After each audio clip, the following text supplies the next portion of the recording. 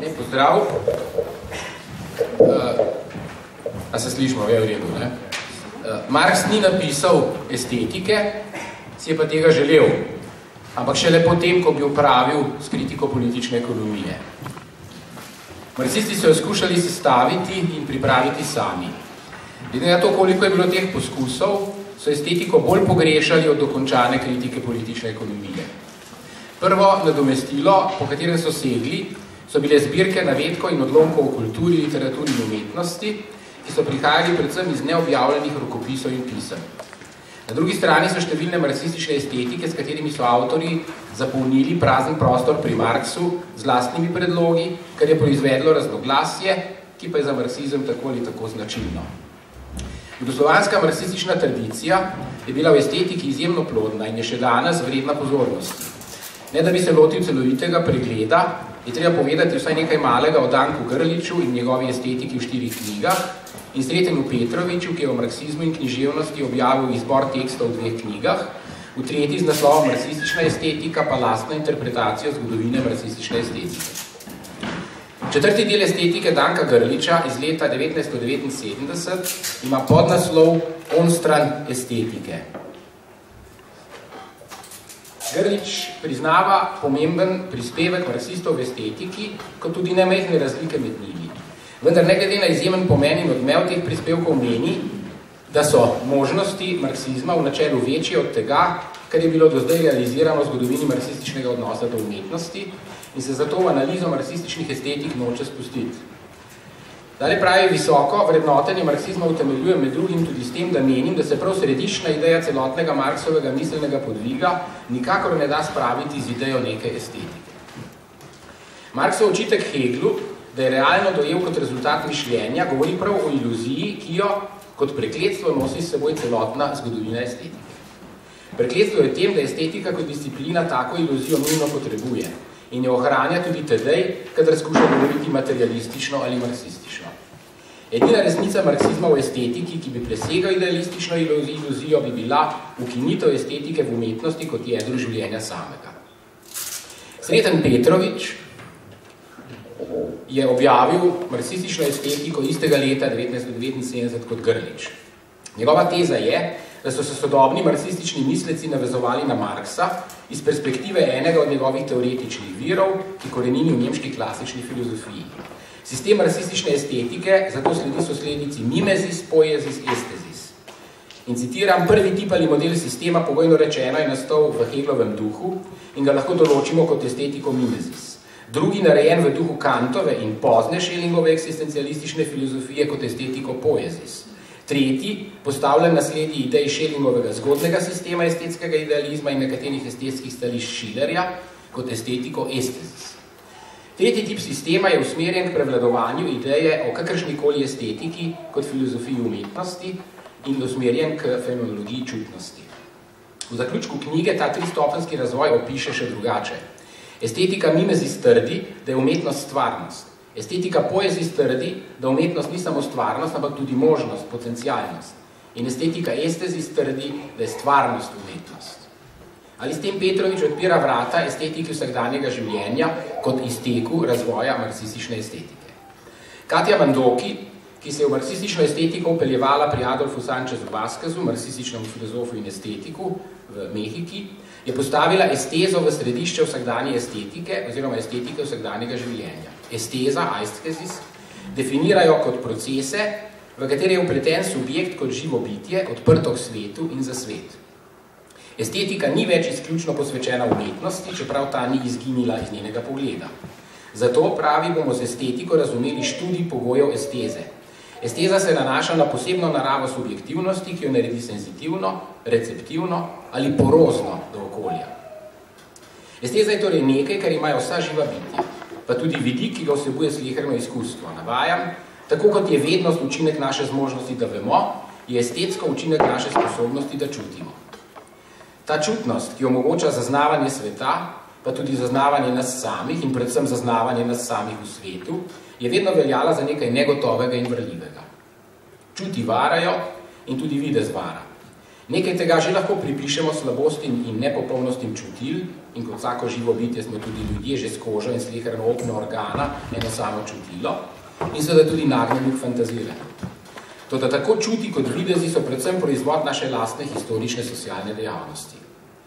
Čutno zaznavanje kapitala je tako kot preiskava tega, kaj proizvaja tako zaznavo, tema Marksove kritike politične ekonomije. Na izhodišče možne marksistične estetike torej postavljam trditev, da je treba Marksovo estetiko poiskati v kritiki politične ekonomije, torej v kapitalu in zanj pripravljenih rokopisih. Esteza čutno zaznava v družbah, v katerih prevladuje kapitalistična blagovna proizvodnja, ima dve značilni potezi, fetiški značaj blaga in mistifikacijo. Ko navadna stvar postane blago, se iz navadne stvari spremeni v čutno nadčutno reč. Tudi ta definicija čutno nadčutna reč, vemo, da je tudi najpogostejša definicija umetniškega dela v zgodovini estetike. In navajam, odkot torej izvira zagonetni značaj produkta dela, brško privzame blagovno formo. In Marx odgovarja, očitno prav iz te forme. Skrivnostnost blagovne forme je torej preprosto v tem, da ljudem zrcali družbene značaje njihovega lastnega dela, kot predmetne značaje samih produktov dela, kot družbene naravne lastnosti teh reči in s tem tudi družbeno razmerje producentov do celotnega dela, kot zunaj njih eksistirajoče družbeno razmerje med predmeti. Michael Heinrich ki zavrača mlado marksovsko branje skozi prizmo ideologije kot napačne zavesti in odtujitve od generičnega bistva, generičnega bistva dela, še posebej, podarja Marksove lastne besede, da imajo fetiške forme esteze trdnost naravnih form družbenega življenja, ki so družbeno veljavne, torej objektivne miselne forme za produkcijska razmerja tega zgodovinsko določenega družbenega produkcijskega načina, blagovne produkcije. Fetišizem, ki navadne reči spreminja v nadčutno-čutne reči, ker blagovna forma odnosa med ljudmi prevaja v odnosa med predmeti, je naravna forma esteze v kapitalizmu. Lahko bi rekli, da ne, navadne stvari žarčijo družbeno avro. Fetišizem čutnosti in zaznave je sensus comunis blagovno denarnega univerzuma. Z mistifikacijo Marx označuje čutno zaznavne posledice nakupa in prodaje delovne sile. Njeno vrednost določa čas potreben za njeno produkcijo in reprodukcijo, je pa delovna sila tisto blago, ki je zmožno proizvesti več, kot je za njegovo produkcijo oziroma reprodukcijo potrebno, so obča mesta. Menjava med delom in kapitalom je pravična in enaka menjava, saj delavec kot lastnik delovne sile prejme plačilo v višini njene vrednosti, vendar je kapitalist dobil roke delovno silo, ki pa je zmožna proizvesti več vrednosti, kot je potrebno za njeno reprodukcijo. Tu je vse v redu, Tu je dejanski raj prirojenih človekovih pravic in še bolj prirojene sebičnosti sleherne osebe. Prav zato, ker je vsakomur marle zase, zaradi prestabilirane harmonije reči ali v varstvu kar se da premetene previdnosti, navajem iz Marksa, vsi opravljajo le delo vzajemne ugodnosti, skupne koristi in skupnega interesa. In prav na tej točki splošnega ugodja, estetike v klasičnem pomenu besede, izvanega z gladkim in zakonitim, posem naravnim menjavanjem delovne sile za denar, ki s to potezo upa, da bo postal kapital, se rojeva mistifikacija, ki je najvidnejša, najbolj čutno nazorna v tako imenovani trinitarni formuli, ki jo Marx predstavi v rokopisu tretjega zvezka kapitala. V trinitarni formuli se obet presežne vrednosti, prikrit v družbenem razmerju svobodne in enake menjave delovne sile za kapital, pojavi v realizirani, mistificirani obliki. V tej estezi nastopajo kapital, zemlja in delo kot trije viri letno razpoložljivega bogatstva, ki si ga tržno tovariško razdelijo med seboj. Toda, domnevni viri letno razpoložljivega bogatstva, pravi Marx, spadajo v popolnoma disparatne sfere in nimajo med seboj niti najmanjše analogije. Trije deležniki delujejo, kot da bi bili sestavni deli enega in istega skupnega imenovalca in v načelu istovrstne stvari, so proizvajalci vrednosti oziroma seveda predvsem presežne vrednosti. Dejansko pa so, navajam, drugo do drugega približno v takem razmerju, kakor notarske pristojbine, pesa in glasba. Tudi delo je torej mistificirano, saj je že cena dela ravno tako iracionalna kot rumen logaritem. Če govorimo o delu kot ustvarjalcu vrednosti, ga ne obravnavamo v njegovi konkretni podobi pogoja kapitalistične produkcije, ampak izven njegove družbene določenosti kot mznega dela. Ker je Marx v obrobnih pripombah programu Nemške delovske stranke leta 1875 dodal, zadeva na vides logičen sklep nemških socialnih demokratov. Delo je vir vsega bogatstva. Mistifidezoče vpraziranje, da ima delo nadnaravno ustvarjalno moč, pravi Marx godi meščanom. Kajti ravno iz odvisnosti od narave izhaja, da mora biti človek, ki nima druge lastnine, kakor svojo delovno silo, v vseh družbenih in kulturnih razmerah sužen drugih ljudi, ki so se podastili delovnih pogojev. Ker izhaja iz slabe oziroma prazne abstrakcije dela, pride pletenica teh programskih temeljev do ugotovitve, ki je kar se le da podobna trinitarni formuli. Navajam iz programa in ker je koristno delo mogoče samo v družbi in z družbo, pripada donos dela neokrneno in po enaki pravici vsem članom družbe. Lep sklep, ironizira Marx. Kaj ti, pravi, če je koristno delo mogoče samo v družbi in z družbo, pripada donos dela družbi in posameznemu delavcu pripada od tega donosa samo toliko, kolikor ni potrebno za vzdrževanje pogoja dela, družbe. To pa je prav tisti argument, ki so ga v vsakem družbenem redu zagovarjali tisti, ki so živeli od tujega dela in ki je v trinitarni formuli spravil na en sam skupni absurdni imenovalec kapital, zemljo in delo. Zdaj grem k drugemu delu, torej k estetiki od filozofiji umetnosti. V manifestu komunistične stranke se pesnik pojavi v druščini časti vrednih poklicev, ki jim je s kapitalističnim načinom proizvodne zakrnila aura. Citat je vsem znan. Historični pristop k modernosti in modernizmu pa nam kaže nekaj drugega, kot pravi tukaj Marx, uh, s tem uh, snevanjem svetniškega sija. Umetniški poklici so se z položaja mehaničnih veščin začetka novega veka prebili do statusa vzvišenega poslanstva, namenjenega čistemu estetskemu, ki ga upravljajo umetniki stvarniki in duhovni modernosti. Ta proces pojasnjuje kar dosti avtorjev, od Pavla Oskarja Kristelerja in Vladislava Tatarkjeviča do Petra Bürgerja in Pjera Bourdieja. In njihovi prispevki nedvoumno vodijo do sklepa, da so umetnost, umetniško delo in umetnik, umetnica šele kasneje in s težavo, objekti temeljite mistifikacije.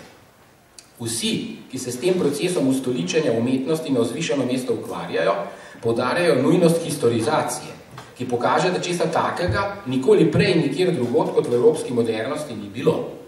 Bourdie poudarja, da se v tem procesu proizvede to sveto, namreč čisto estetsko umetniškega dela po vseh pravilih, ki jih je Marcel Moss odkrival v esejo o magiji. Kljub pravanjem estetskega in umetniškega modernizma, ki tako v estetiki kot v umetnosti traja že vsaj sto let, svojega cilja niso dosegle ne historična avantgarda, ne neoavantgarda, ne postmodernizem, saj je sicer oslabljen modernizem vse ne le preživel, ampak tudi vključil vase, pa tudi sodobna umetnost, da ne bo odpravila. Fetiška magičnost se je medtem tako ali tako že preselila svojim centrom iz elitne umetniške kulture v množično popularno kulturo, kjer se je razbohotila v polni moči. Vendar nam historični pristop ne zadošča. Če zožimo raziskovanje na umetnost, kakršna je bila izumljena in pomenovana šele sredi te zgodovine, se moramo zadovoljiti s tem, da razkrinkavamo estetske mistifikacije in ideologijo umetnosti. Delujemo kot aktivisti antimodernizma, ne moramo pa pojasniti, da se tudi svet umetnosti vzpostavlja neodvisno od subjektivnih hoten, želja, interesov in določitev njegovih, odločitev njegovih akterjev in akterk in da predstavlja poseben izsek sveta kapitala, ne pa le utvare in izrodke domišljije. Nastanek sveta, sveta umetnosti, umetniškega dela in umetnika je treba po eni plati postaviti v kontekst prvotne akumulacije oziroma produkcije mrznega delavca, po drugi pa v kontekst procesov uravnovešanja in nadzora novih družbenih razmerij, v katerih so množice navadnih ljudi tretjega stanu upotegnjene v javni prostor, v katerem jim pripada svoboda izbire življenjskega sloga in delodajalca v mejah odvisnosti in izkoriščanja. V tem procesu razpadejo stare artes, razdeljene na svobodne in navadne in nastanejo znanosti in obrti. Nova razdelitev ne pomeni le povzdignenja znanosti v samostojno dejavnost, ampak tudi iztrganje obrati cehovskemu načinu proizvodne in njihovo pot v denarno ter kasneje kapitalistično gospodarstvo, vse do manufakturnega dela in industrijske revolucije, ki obrti praktično odpravi. Na tej poti izginejo mojstri, pomočniki in vajenci in postanejo mezdni delavci, delno pa lastniki novih pogonov za proizvodno presežne vrednosti. V končni fazi, ki nastopi kot izid industrijske revolucije, pa obrti bodi si propadejo, bodi si postanejo privesek kapitalističnega načina proizvodnje, ne nazadne kot bolj servisna, kot pa produktivna dejavnost. Znanost je postala gonilna sila razvoja, upeta v produkcijo relativne presežne vrednosti, obrt se je razkrojila v odvisno in mrzno produkcijo, ostalo pa je nekaj artes, ki jih niso znali utakniti ne na eno, ne na drugo stran. Tudi zato, ker so se te zvrsti že z renesanso borile za prestop med artes liberales. Na koncu preobrazbe celotnega sektorja veščin je temu preostanku ostal tudi naziv umetnost, vendar z rezom preko njihovih dejanskih praks, ki je zdaj med svobodne umetnosti uvrščal le tisti del dejavnosti, ki mu je bilo mogoče pripisati čisto estetsko, samosmotrnost, brezinteresni interes in tako dalje. Na tej podlagi so lahko mistificirano in protislovno hkrati veljale za tiste vrste delo, ki ostaja onstran kapitala, čeprav so bile vse po vrsti utopljene v mezdno delo in hkrati za produktivno delo. Zakaj tudi ne, če pa so produktivni tako kapital kot zemlja kot delo? Vendar je umetniško delo veljalo za produktivno, ne da bi bilo mezdno delo. To je pojasnil že Kant. Citiram. Prav tako se umetnost razlikuje od rokodelstva. Prva se imenuje svobodna, druga pa se lahko imenuje tudi mrzna umetnost. Prva je, čeprav pod enakim imenom kot prej, kunst, lahko smotrna edino kot igra. Druga pa je delo, torej nekaj na sebi neprijetnega in privlačno le zaradi svojega učinka, kaj pravi ta učinek, seveda na primer mezda. Zanimivo, enak kriterij je bil v koncu 19. stoletja uporabljen za delitev na amaterske in profesionalne športnike, pri čemer so bili ti drugi izobčeni iz olimpijskih športov. Kdor lahko ustvarja, ne da bi moral prodajati svojo delovno silo, je športnik ali umetnik. Kdor pa mora prodajati delovno silo, ne športnik, ne umetnik ne more biti.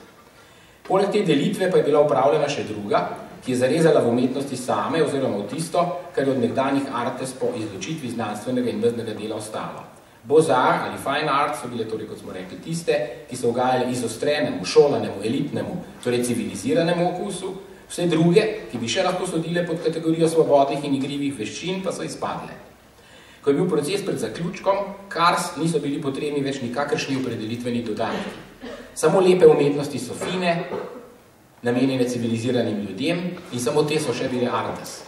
Vendar to zdaj ni več pomenilo, da gre za priučljive veščine, ki se izvajajo po pravilih, tako kot prej, ampak ravno obratno da gre za čisto in svobodno igro duhovnih zmožnosti, ki ne priznava nikakršnih pravil in izhaja iz genija ali talenta, torej iz narojenosti.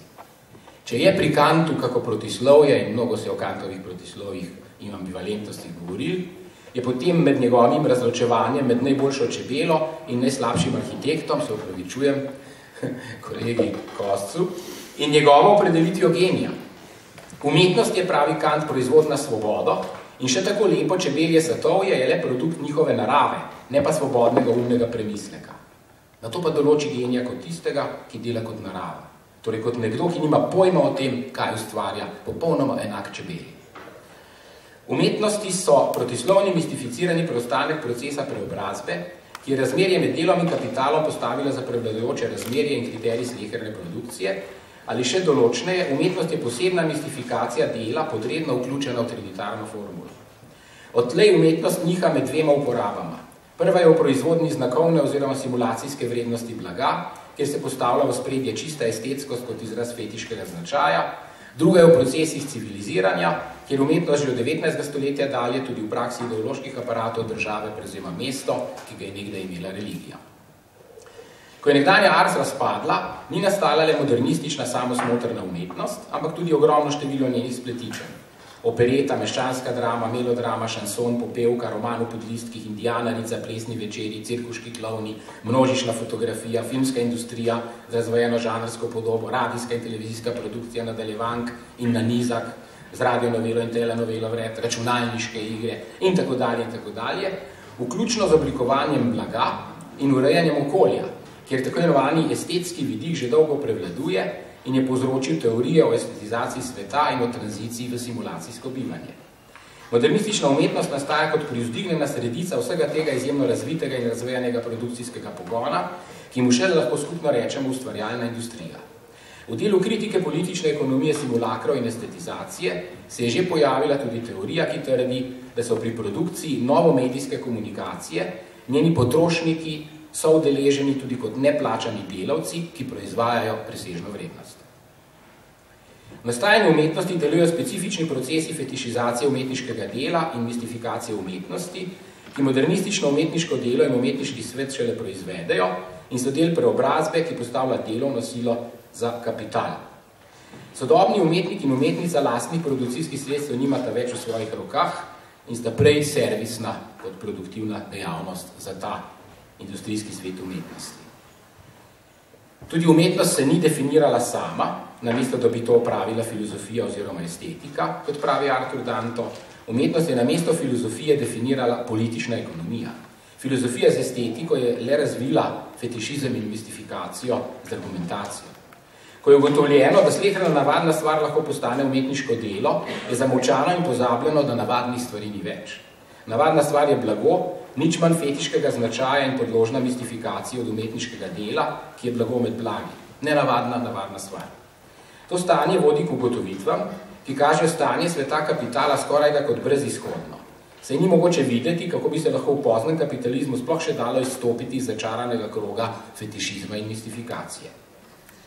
In katera socialna skupina bila konc koncev to zmožna narediti, ali vsaj zainteresirana. Zato se znova pojavlja leninistična teorija o vnašanju pravilne zavesti v množice od zunaj, iz intelektualnih in umetniških slojev, ali pa se kar te sloje razglasi za neke nove vrste proletariat in avantgarda. Vendar tudi gibanje proti zdajšnjemu stanju ne more navezati na nič drugega kot na zdajšnje stanje, če noče biti Don Quixoterija, kot bi rekel Marx. Seveda pa ta tradicija, na katero treba navezati, ni nekaj, kar bi se sprejemalo kot tako. To je nekaj, kar se zavzema in osvaja. Eh, če govorimo zdaj v tem širšem kontekstu obojega, esteze, pod pogoji kapitala in seveda filozofije umetnosti oziroma umetnosti pod pogoji kapitala, bi lahko rekli, da je centralno vprašanje vendarle ugodje. Ugodje pa ni le v spoznanju, ki seže čez fetišizem in mistifikacijo. Poglavitno ugodje je vendarle uh, ugodje ljudi v uporu proti vsemu obstoječemu. Hvala lepa.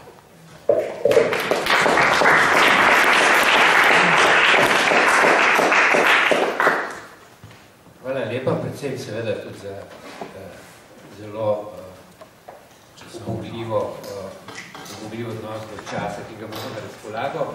Uh, no, uh, zdaj pa je seveda ostalo precej časa za vprašanja. Ni bil to moj namen. Pripombe. No, pa kljub temu boš odgovarjal, ne? No, prosim, zdaj, kdo bi imel kakšno vprašanje?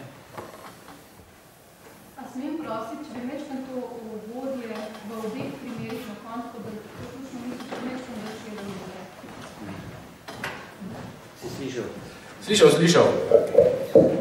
Jaz bi zelo razširil to ugodje. Ja. uh, to uh, ugodje, ne, če se zožem na, na umetnosti in umetnike, so obslučili seveda vsi uh, iz sveta umetnosti, ki so se zdaj vključili v kakšno množično, uh, uporniško, destruktivno, revolucionarno, uh, alternativno ali kakršno koli gibanje. Ne. To, je, to je ugodje uh, neposrednega uh, fizičnega celo napada na uh, institucije, temelje, okvire sistema.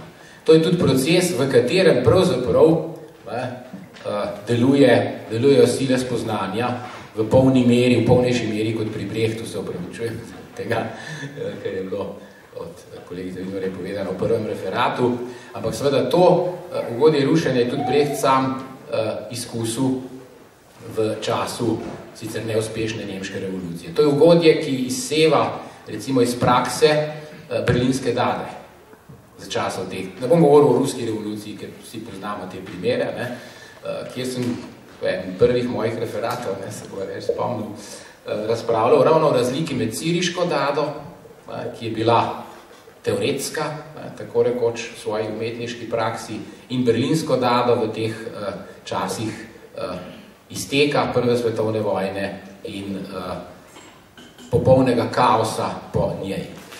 Ugodje tega kaosa je v tej dadi tudi jasno razvidno. Skratka, tisti kaos, ki se pokaže, ko odmislimo sistem v trenutku, ko je sistem v težavah, eh, tisti trenutek, ko je sistem v težavah in lahko odmislimo njegov red, vsaj za trenutek, eh, zelo jasno pokaže, kakšno je to estetsko, ta esteza ugodja v razpadanju sistema. In uh, mislim, da je ta uh, esteza tisto vodilo, ki je vodilo vseh teh urejeno angažirani, subverzivni in tako dalje umetnosti. To je, ki ima nek presežek nad ugodjem in udobjem ostajanja v danem, ki ga zanesljivo fetišizem in mistifikacija ponujata v precejšnji meri. Zato ne pristajam na tiste poglede, ki pravijo tudi Deborjevega, da je ta svet, recimo, družba spektakla, ali pa korkoli se temu zdaj že reče, ne, da je to zaprt svet, iz katerega ni izhoda. Iz tega sveta vodi natančno dober občutek za zaznavo in čutnost upora.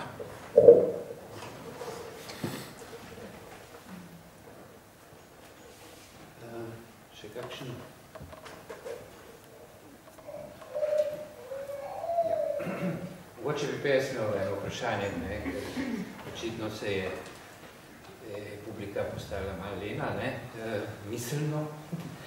A, e, glede na ta pojem esteze, ne, a to bi lahko korespondiralo s, recimo, s tem Liotarjevim, ne, e, obratnim, e, obratno poanto, ne, da lahko s modernizmu več ne govorimo o, o estetiki, ampak o anestetiki, o, o anestezirajo, tako rečem, da umetnost služi namenu, skratka, ki skratka, prikrije pogled na to, kar se nam dogaja. E, tako to in seveda tudi Velšovo interpretacijo, ki govori pa o tem, da nam an, zmožnost za anestetiko sploh omogoča preživeti v do konca estetiziranem svetu, kjer če bi dejansko vse te lepote neprestano čutili, zaznavali in občudovali te lepote tega fetišiziranega in mistificiranega sveta, uh, bi seveda uh, preprosto sploh samo po sebi otopeli. Če nočeš otopeti, moš pravzaprav anestezirati svoje razmerje, svojo umeščenost v okolje, uh, ki je pa seveda neka razlika. Ne? Uh, to okolje je strašno lepo. Ne? vse je strašno lepo, privlačno, uh, oblikovano in tako dalje. Ne? Uh, če bi hotel hoditi, gledati kaj lepega, bi morali hoditi v shopping bole, ne? v nakupovalna središča, tam je lepota danes doma. Ne? V svetu umetnosti lepota ni več doma. Ne? In to je znak tega, o čemer, na kar opozarja Liotar ne? in na kar opozarja tudi, tudi Wolfgang Welsch, ki se sicer zdaj je ukvarjal glavno slikarstvo ne? zadnja leta. Uh, bilo zanimivo videti, kaj dela. Ne. Uh, tako da tukaj soglašam, ja, za to gre. Pobudo za sestavo prispevka Ekonomija v službi umetnosti uh, mi je dalo spoznanje in razmišljanje o tem, zakaj pretežno leva politična opcija nenehno krivi ekonomijo za obstoječe stanje v družbi kar se tiče gospodarskega, predvsem eh, položaja eh, zaposlenih, brezposelnih, revščine, povečevanja razlik med bogatimi in revnimi in pač vsega, eh, čemu se priča. Namreč menim, in to sem že včasih priložnostno tudi izpostavila, da se na ta način levica izogiba svoje odgovornosti, torej odgovornosti za svojo impotentnost uh, in išče krivca v ekonomiji, ki naj bi bila grešni kozel. Uh, in to bi rada zdaj s temi didaktičnimi pripomočki malenkost ponazorila, kaj je ekonomija in kaj ni ekonomija, ker bodi si, da gre za nevednost, o tem ali pa za sprenevedanje.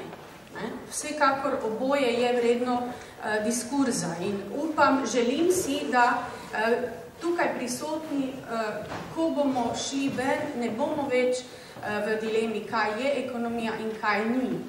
Uh, in kaj je naloga in funkcija uh, levice kot politične opcije.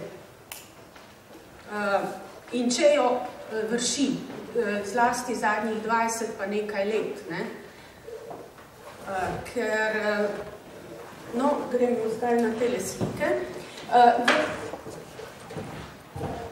V času slovanja priprave tega prispevka sem slučajno, ali pa če ni slučajan, nekateri pravijo, da je vse na ključ, ne, na ključ, naletela na zanimivo, zanimiv projekt razstavljen v galeriji Kapelica.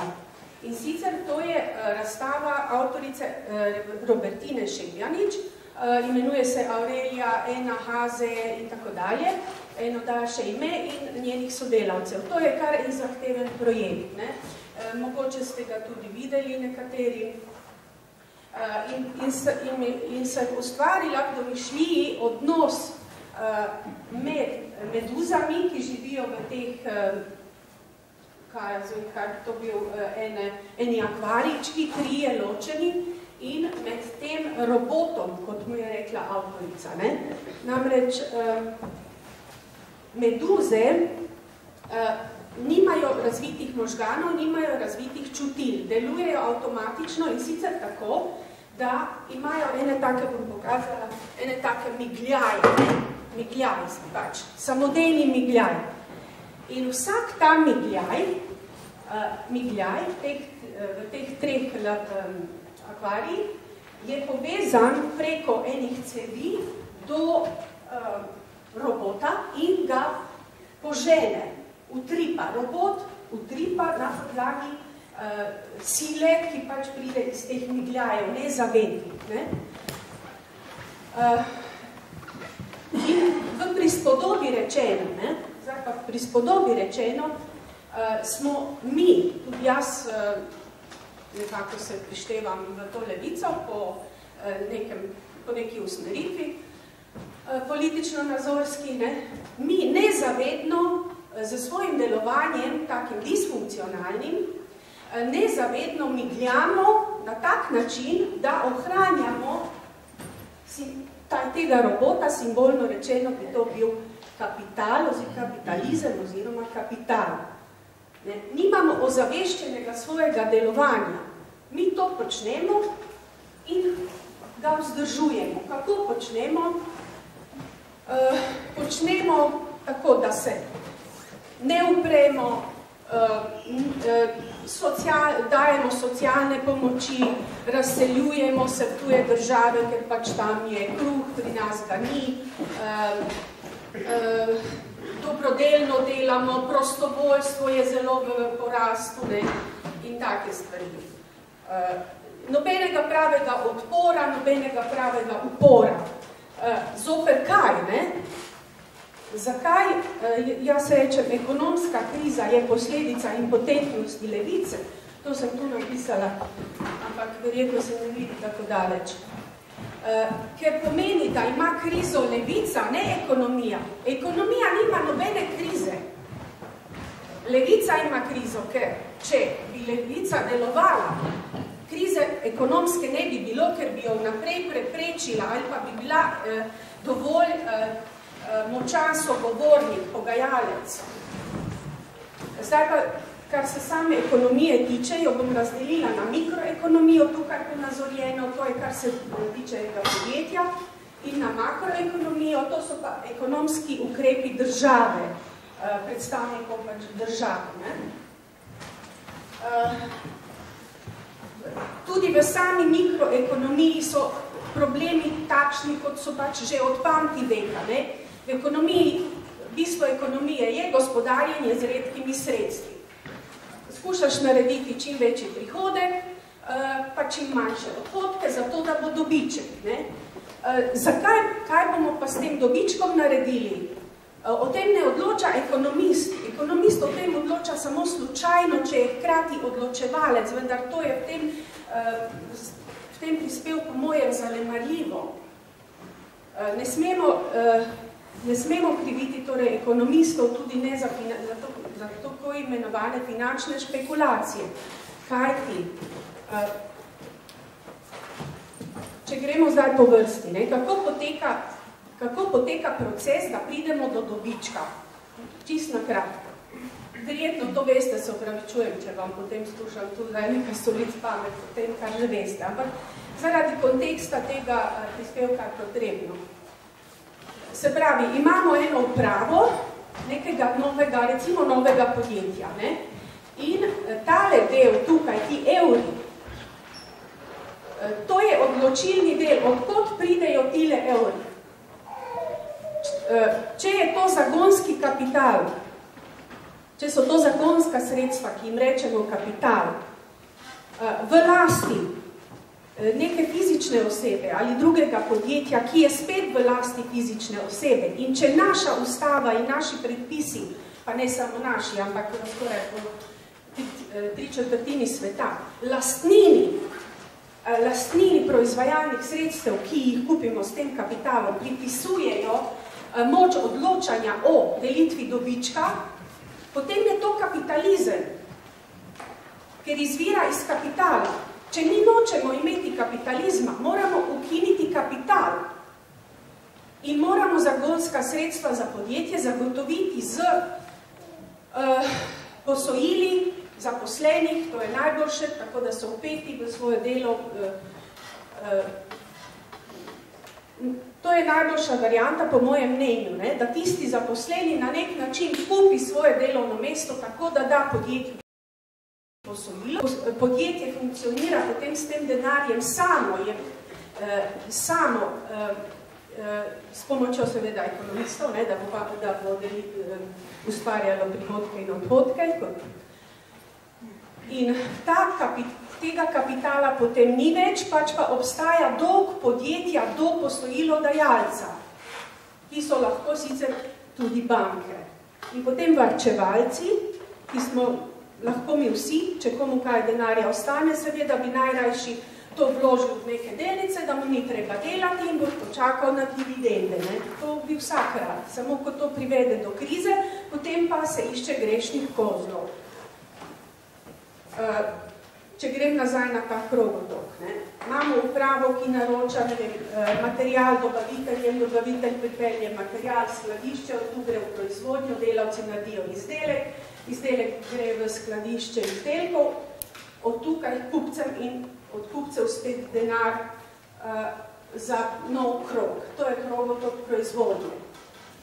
Uh, če ta krogotok dobro funkcionira, če so ekonomisti, ne, recimo, ali pač zaposleni vsi aktivni, uh, če čutijo s podjetjem, če se čutijo povezani, da niso odtujeni od svojega dela, potem v dobrih razmerah, seveda je tukaj pomembna za te razmere tudi država svojo makroekonomsko politiko, eh, lahko nastane dobiček. Ne? In bomo temu dobičku rekli, ker se tudi po zakonu deli na poslovni, finančni in drugi.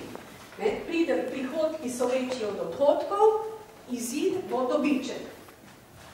Poslovni dobiček je tu, finančni tu, drugi to so izredni pa tukaj. Potem imamo skupni dobiček, ki se deli spet po predpisih, trenutno je tako, država dobi 17%, kar je, če mene vprašate malo in eh, destabilizira državo, ne, to je velik problem, eh, seveda in daje moč eh, multinacionalkam, kar pa spet niso krivi ekonomisti, drugič rezerve in podobne raziskave in razvoj, in tretjič, tretji del dobička, tega obstoječega, Eh, so deležnine lastnikov. Eh, ta del je problematičen. Kajti, če bi podjetje bilo samo lastnik svojih poslovnih sredstev, mu ni treba dajati deležnine lastnikov in odpade ta profitni dobičkonosni motiv, ki eh, poganja dejansko ta krivičen izkoriščevalski kapitalizem. Ne? Torej, kapitalizem lahko odpravimo samo tako, da odpravimo kapital. Jaz sem prepričana, prepričana, da ni druge možnosti in da nadomestimo s tem, bilanca mora biti izravnana, da imamo na eni strani sredstva, na drugi pa samo obveznosti. Do koga? Do treh subjektov. Do vrniti moramo zagonski kapital, po možnosti zaposlenih, do zaposlenih, za plače in eh, delež dobička, na katerem participirajo v dogovorjenem razmerju, recimo ena proti maksimalno devet, kar je že nekako po stopnju izobrazbe s kolektivnimi pogodbami doseženo, nek konsenza, to je diskutabilno, uh, in pa do dobaviteljev, ki smo jim dolžni za materiali in uh, elektriko in druge stvari. Torej imamo samo sredstva in obveznosti, nimamo več kapitala, kot je sedaj, je takole. Ne, ta kapital dejansko uravnava vse vse, ker dobiček, ga tu stvarimo, povečuje kapital.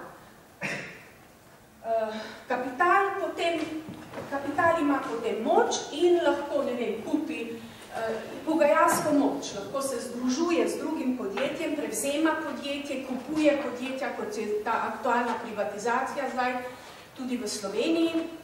Velik kapital se je že pač nakopičil ne, in zdaj kupuje malo manjši kapital. In vedno večjo moč ima. Tako da tile eh, levičari tu, mi levičari neko malo takole tu uh, zmigamo, smo brez moči.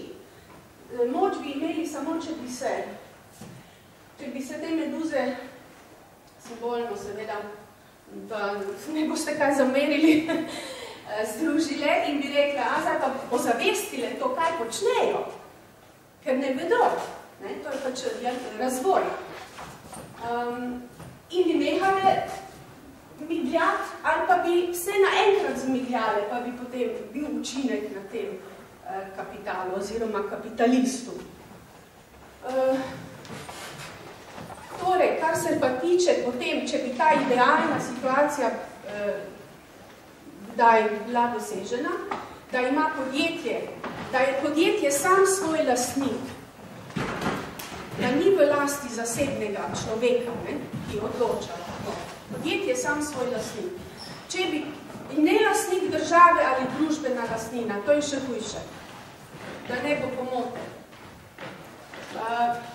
Če bi ta situacija, situacija bila dosežena, bi recimo predlog bil ena proti delitev dobička v podjetju brez kapitala, ena proti tri in sicer trije enaki deli, enega dobijo zaposleni s plačami in dobičkom vred. Sproti, ker uh, tile računalniška tehnologija omogoča, da mi imamo ne samo vsak mesec, vsak dan vemo točno, koliko dobička smo ustvarili.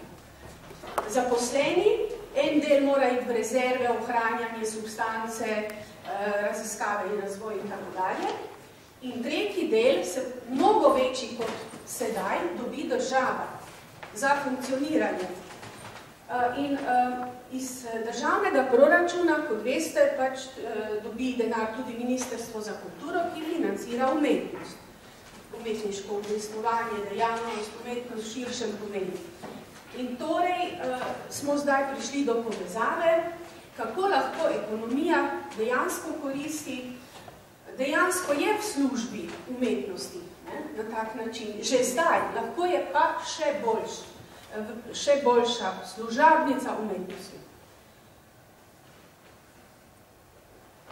Koliko časa imam še na razpolago?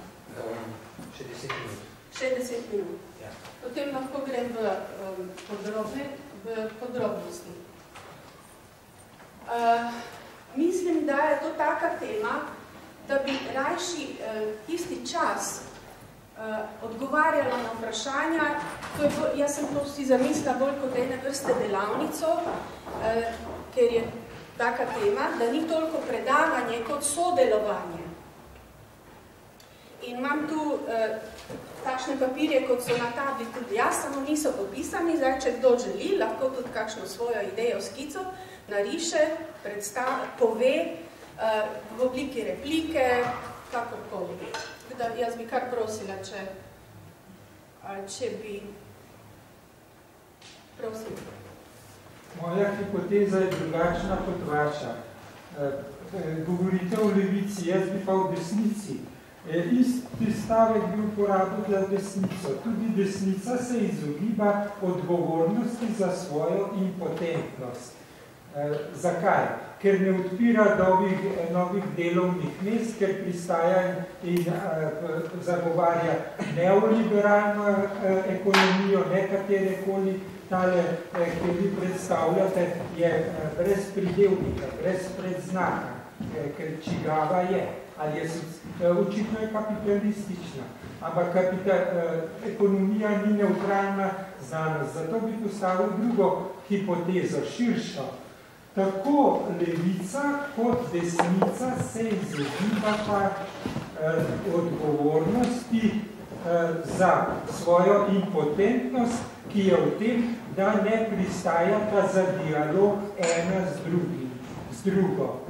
Kolikor sem študiral marksizem, vso študijsko dobo in še kasneje, v bistvu smo igrali samo na enem polju in to kapital delavec, kapital delo s stališča levičarskih avtorjev, kaj bi ti želeli, kaj bi ti spremenili. Desnica je bila pa nekje v ozadju, kot neka, rekel, neka cokla, ki ovira to, kar bi človek od sui generis želel. Hipoteza je to, da se človek kot Marksovski izraz je generacijo in ekvivoka, ne more svojih potenc razviti, ker ima dve impotentni predstavnici, ki ne vzpostavite, vzpostavite ekonomijo dialoga, dogovorno ekonomijo. Tudi v tem je marsikaj napisanega, jaz zdaj o tem ne vem nič, ampak dogovor bi bil, če bi bil dialog, tega pa očitno ni.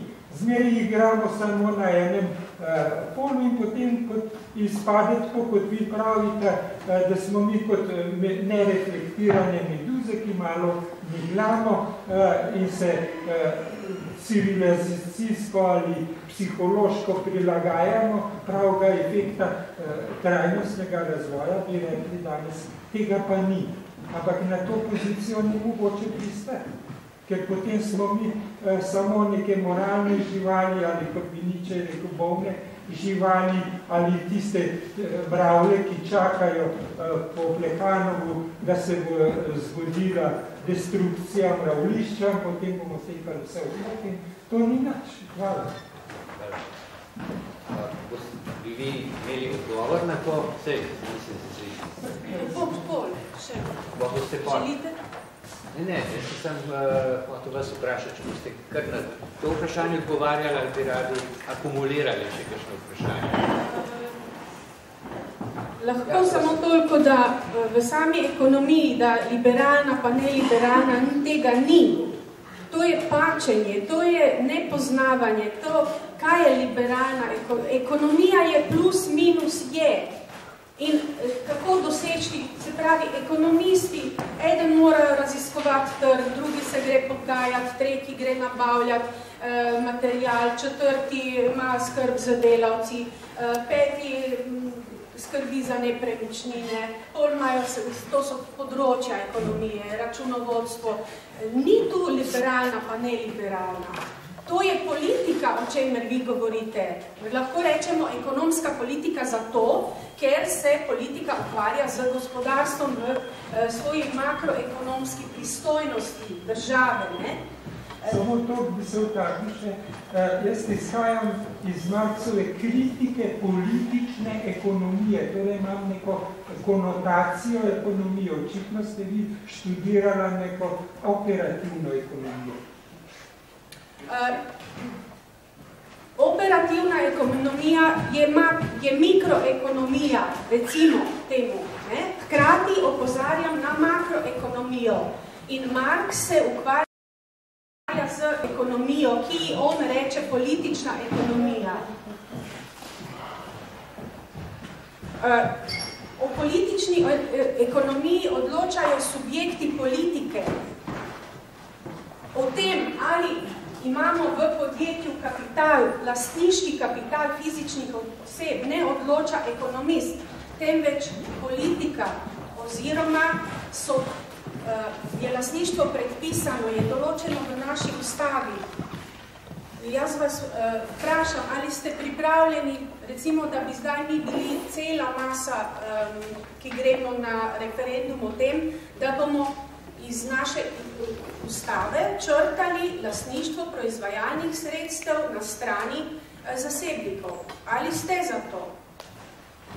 Potem pač ne bo kapitala in ne bo kapitalizma. To je, ta, to je razpotje levice, ker ne ve, kaj hoče. Ne? Ker, ker dejansko levica vrši sedaj neko socialno skrbništvo. In se pogaja, potem je tretji socialni partner, kot eh, sindikati, pa delodajalci, pa delojemalci, to se skozi nekaj dogovarjajo. To je skrbništvo, to ni, bilo, to ni funkcija uh, levice. Uh, ne, sej to, večina vas je verjetno simpatizerjev Marksove teorije tukaj. Levica nima naloge, pač njena naloga ni, da, da združuje z nekimi socialnimi transferji obstoječi kapitalizem. In to počnemo, to so ti miljaji in še ti so razdeljeni na tri, se pravi, eno so tile varčevalci vlagatelji, smo, ne, levica znotraj, eno je potem država, državni aparat je tak, vse, kar so v pristojnost države, in tretje so zaposleni, eh, brezposledni, eh, upravičenci pomoči, prostovoljci, ne, vsi ostali. Se pravi, tile med sabo nimajo povezave, temveč skupaj z svojimi neorganiziranimi migljaji lahko opečejo, seveda pa tam koga, ne, ker meduza lahko opeče, eh, zdržujejo na ta način s, to, s tem socialnim skrbništvom, zdržujejo kapitalizem, In je treba fokus problema najti v lastništvu in premisliti pri sebi. Ne? Vsak pri sebi, ko to razčisti, zlasti levičar, ker je to naloga eh, levi, eh, leve opcije, ne desne. Desna zagovarja kapitalizem. Tudi, če ni, ne vem, saj ni treba sploh biti preveč aktivna, saj pa nima nasprotnika. Dovolj je, da se vsake toliko časa zelo pogosto, vsaj v Sloveniji, neke afere, neki, ne vem, urgelski, pa eh, palčki, pa eh, patrije, pa kaj so še šroti, pa ne vem kaj. To se zamegljuje tako, da ljudstvo je se zabava nad tem, pa reče, o, vidiš, kako so pokvarjeni, ne? In, in, in kaj? Kako že rečejo, psi lajajo, karavana gre naprej, ne? S tem, eh, zamegli se potem fokus problema. Ne? Fokusi, fokusirati je treba na lastništvo proizvajalnih sredstev, ki pa ne more biti, eh, ki pa ne more biti potem pač vlasti države ali družbe, ker to je že preverjeno, da ne funkcionira, ker tudi tam mora biti en upravljalec ne? in se stvar, dobro zamišljena stvar se sviži. Podjetje mora imeti samo svoj kapital oziroma svoje dolgove, svoje poslovanje, svoj poslovni sklad in da je to možno, je pa nehote dokazala recimo korporacijska politika. Kaj ti? Vi lahko podjetje upravljate brez lastnika. Lastnik lahko, ne vem, lastnik ima denar, je financiral, je vložil, tam je bil vojni dobičkar, recimo na Balkanu je bil vojni dobičkar, je kupil en lokator, on se lahko zdaj vozi po turističnih krajih, gre na Galapagos, ne vem kaj gledati, ne, se potaplja tam, njemu sploh ni treba biti podjetju, on ima menedžerje in ti menedžeri so dobro plačani, da izkoriščajo. Lahko, mislim, jaz se, kako to, kar vi razlagate, kako se to razlikuje od aktualno obstoječega kapitalizma. Pravite samo, da mora biti upravljanje ločeno od kapitala. Kar ne, je. hočem reči, da me, eh, podjetje samo ima delovna mesta in se ve, ti si za to, ti znaš to, ti si se to učil, oni se to, ti delaš to, to, to, dajmo se dogovoriti, kako bomo se sestanke imeli, kdo bo kaj za poročevalec, katero področje bo glede na svoje znanje, izkušnje, sposobnosti, kdo pokriva. Ne? Sami upravljajo svoje podjetje, v katerem so zaposleni. Ne pa, da so uh, uh, hlapci nekega, ima nekega neznanega lasnika, ki ta čas tam na Galatagosu se podaplja, oni pa njemu delajo profit ne? in potem rečejo ekonomijo, ne? je kriva. Jaz sem že izčrpana. Hvala lepa. Dajte še malo ja. vi povedati, kaj mislite. Še kakšno vprašanje. Mislim, da je tle precej dilem. Bi pa kolegici izrekel pohvalo, ker je opozorila na to, da je levica pozabila na to, da, se, da je glavni problem zasebna lastnina. Ne? Ja. Ja, to se strinja. To je kapital, temu se reče, to je, pogledajte, to je kapital, to ni samo skica, to je ja. tudi po zakonu, tako zakonu o gospodarskih družbah, pogledajte si, točno piše pa naša ustava. Ne? Se pravi, naša podjetja so vlasti zasebnih fizičnih oseb, ki si mislijo, pa če lahko izkoriščam, zakaj ne. ne tale kapitalist si misli, pa če so te meduze tako neumne, da mene tukaj poganjajo, pa zakaj ne? Ne? Mislim, dobro, to so zdaj še etične vprašanja, ampak v trenutnem stanju je pač prevladuje tako. Samo v konkretni politiki, ne, če vzamemo socialdemokratske levice, ne, gledajte, v Franciji Mitterranda, pa zdaj tudi Hollande se znašel v istem precepu. Ne. Uh, problem je ta, ne, da uh, levica dobi v roke tak instrument, kot je država. Ne. Uh, socialdemokratska levica. Vnaprej razglasi, da noče ukiti kapitalizma, hoče se pa zmed s kapitalisti. Potem zviša davke in kapital zagrozi, da bo šel. To se pravi, da država mogoče ni, ni za Naj kar gre, naj kar gre, ker nekje se to mora začeti in potem eh, seveda to je globa, eh, eh, tako kot je kapitalizem globaliziran, mora biti tudi recimo mu socializem globaliziran. Ne, brez tega ni nič, ampak žrtve so ne, pri vseh spremembah. Uh, ja, eno vprašanje, se ne vem, za koga točno. Se bi strinil s tem, da je premala pač vrnite nazaj k osnovnemu problemu, na področju teorije, torej zasebne lastnine. Ne. Hrati pa mogoče se pozavlja tudi na, na spreko pač pravnega sistema za zasebno lastnino, oziroma da je pač ne, lastnina je podlaga za pravno ureditev. Ne. In še posebej na levici se mi zdi no, zelo tendenciozno, da pač se zanašaš na pravne sisteme, ne, pač hočeš ravno znotraj teh pravnih sistemov najti eno pač rešitev, ki so v bistvu že v osnovi pač povezane. Ampak to je mogoče zelo teoretsko vprašanje, ker bi me zelo zanima, kdo danes to počne. Ne? Zakaj, zakaj se v enem določenem obdobju je nehal, ne? to postalo tako zelo neaktualno. Ne? In, ne? In to je pa zelo ključno vprašanje, tudi zgodovinski razvoj pač povezan. Jaz mislim, da bomo do danes zvečer prišli do odgovora. Ja, kar ne, nehvaležna naloga, eh, da pridem po prispevku, ko smo se odločili, da bomo danes večer rešili, kaj mora, narediti levico, da bo popravila kapitalizem.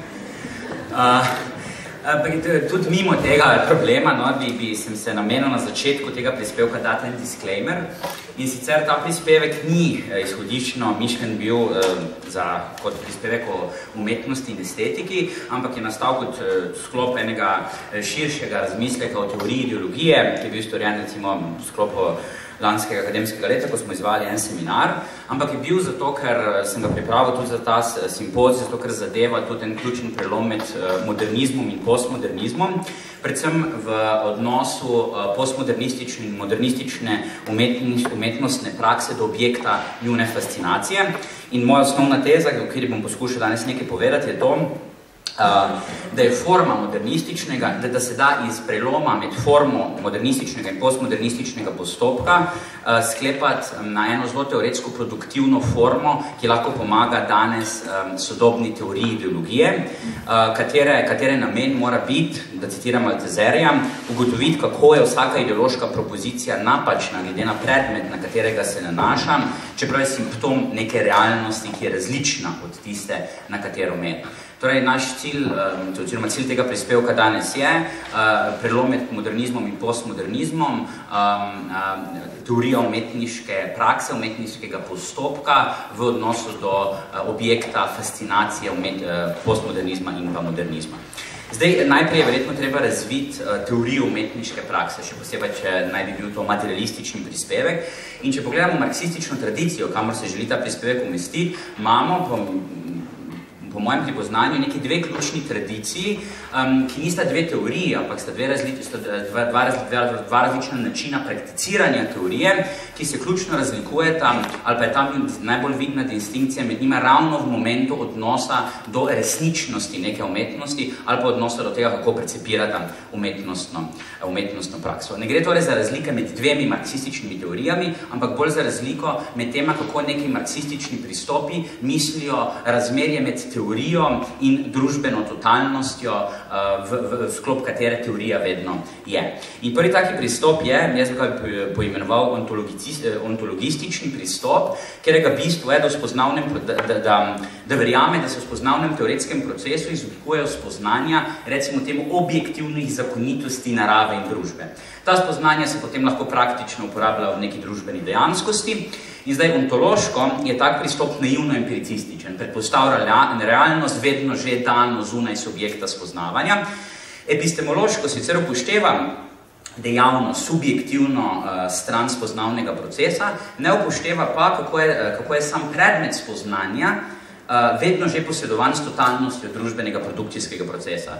Ne? Takemu pristopu se torej izmakne temeljna razsežnost zgodovinskega samospoznanja družbenega subjekta. In kaj to pomeni za, percep za percepcijo umetnostne prakse? Za tak pogled je umetnost subjektivni odsev objektivne stvarnosti. Je ideološki pojav, ki lahko bolj ali manj ustrezno seva neko neodvisno družbeno resnico. In tak pogled se jasno zavzema za realistično umetnost, ki naj bi se ne zapirala v neke subjektivizme, formalizme, ki sta recimo malo povšalno rečeno značilna za sodobno avantgardo. No, potem pa drugi, drugi pristop marksistični tradiciji, um, uh, recimo temu zahodni marksizem, frankfurtska kritična teorija družbe oziroma hegelovski marksizem, um, katerega bistven sklep glede umetnosti je, da je umetnost lahko resnična samo v svojem notranjem zlomu, v svojem notranjem razcepu. Kaj ste mislim? Tak pristop, ne glede na to, kaj pravi umetnosti, je materialistično sprevrnjena tradicija hegelovske refleksije, ki zavest razumem, rečeno z Marksom iz nemške ideologije, kot neposredno osveščeno bit. Zavest torej ni posnejši ali zunanji odsev objektivnih družbenih procesov kot zgoraj, te vrčevanje neposredno upeta kot njihov miselni moment. In zdaj v tem momentu je zgodovinsko samospoznanje subjekta v temelju različno od naravoslovnega spoznanja. V zgodovinskem samospoznanju je namreč sam spoznavni subjekt že moment predmeta spoznanja. Zato spoznanje spreminja sam predmet spoznanja. Z drugim besedami. Napačnega ideološkega spoznanja ni mogoče preseči tako, da ga soočimo s pravim stanjem stvari ali pa s tem, kako zadeve stojijo v resnici. Zakaj ne? Saj napač, zakaj ne? Zato, ker napačnost oziroma ideološkost, sprevrnjenost takšnega spoznanja korenini prav v otojenosti oziroma sprevrnjenosti dejanskosti same. Napačna zavest je pravilna zavest napačne, torej odtojene realnosti rečeno z Marksom iz nemške ideologije, ni ideološka napačna zavest neke družbene biti, temveč je ideološka družbena bit sama, ki je podprta s praktično zavestjo. Kaj to pomeni za percepcijo umetnosti? Umetnost iz take perspektive ni zdaj proces, ki bi bil izzet družbene realnosti, ki bi, de, ki bi m, eh, dejanskost odseval v zunaj. Za umetnost je družbena dejanskost iz te perspektive ni nek zunanji objekt obravnave, sama umetnostna forma je vedno že posredovana strukturo družbene dejanskosti. Zdaj, kaj mislim s tem? Nek primer.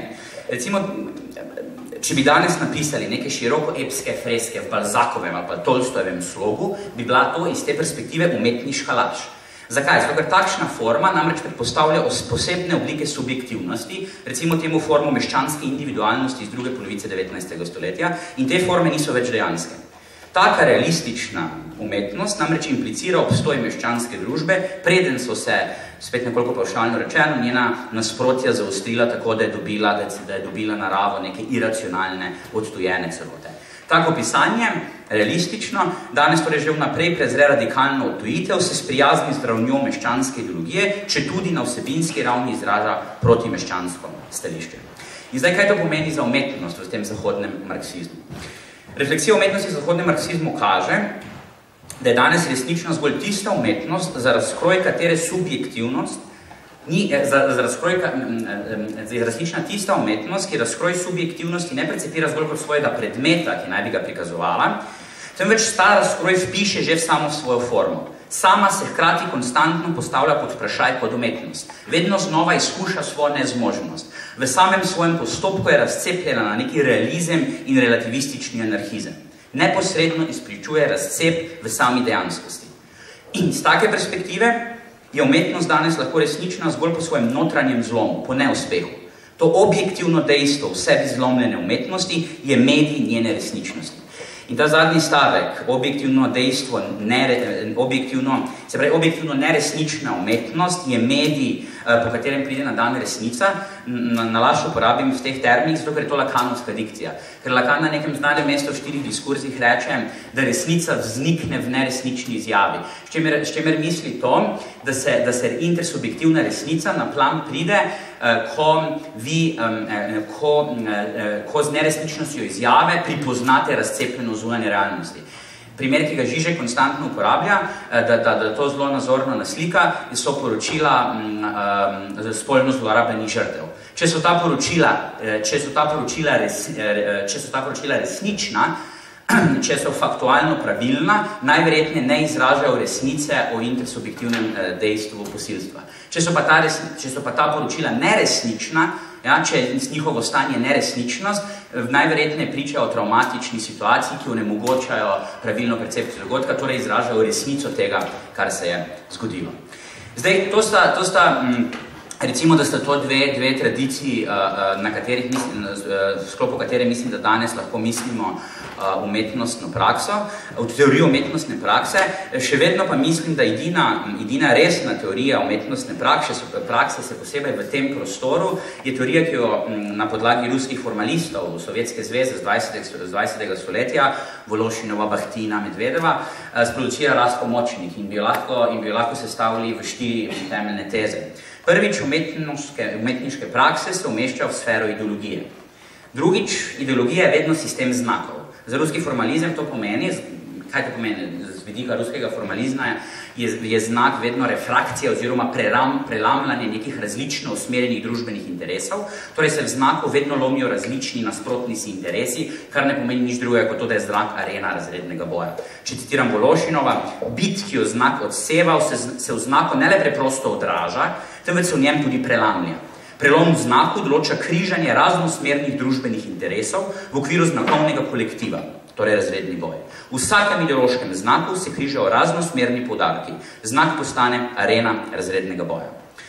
In zdaj tretja točka, tretja teza, umetnost je vendarle specifično ideološko področje, je vendarle specifični znakovni sistem. Zakaj? Ker je praksa, ki jemlje ideološko, eh, ki jemlje ideološko refrakcijo, ideološki prelom za svoje gradivo. Umetnost je praksa, ki obdeluje ideološke odseve. Umetnost ni nič drugega kot drugotna obdelava ideološkega gradiva. Umetnost je sekundarna potvorba ideoloških elementov. Ali rečeno, če citiram Medvedeva, ideološka prelomljenost sveta, ki je postal predmet umetniške upodobitve, je nujen in neizbežen pogoj za to, da svet vstopi v strukturo umetnine. Vsak moment, ki ima pomen, je, je zavezan temu temeljnemu zakonu. V njem, se, v njem se umetnostno izoblikuje že ideološko že prelomljena stvarnost. Umetnost torej kot sekundarna potvorba ideoloških elementov. Zdaj, da bo to lažje razumeti, oziroma da bo to za neko, da, da to ponazorimo še z ene druge teoretske perspektive, to ni nič drugega kot temu, eh, čemu Levi Strosko interpretira Durkheima in Mosa reče totalno družbeno dejstvo, citiram. Posebnost v položaju družbenih ved izhaja iz notranje značilnosti njihovega predmeta, da je hkrati objekt in subjekt ali, če se izrazimo v Durkheimovi ali Mosovi govorici, da je hkrati stvar in predstavljeno. Če hočemo ustrezno razumeti družbeno dejstvo, tedaj ga moramo razumeti totalno, se pravi od zunaj kot stvar, a kot stvar, katera neločljiv del je subjektivni dojem, ki bi ga v njej imeli, če bi to dejstvo doživljali kot domačini. To ne pomeni nič drugega, da je vsako totalno družbeno dejstvo, ki ga, ki ga, ki ga teorija ideologije preučuje, sestavljeno iz družbene stvari, deskripcije, ki jo lahko vidimo, in domačinske predstave o tej stvari, ki je sama že integralni del tega družbenega dejstva. In, in kaj je material material, s katerim um, operira umetnost, oziroma kaj, kaj, kaj je tisti material, ki ga umetnost na to nadaljne prelamla, je družbena predstava kot konstitutivni ideološki del totalnega družbenega dejstva. Recimo, da je to uvodni teoretski del, z, z vidika katerega z vidika katerega bi zdaj želel spregovoriti o razliki med modernizmom in postmodernizmom.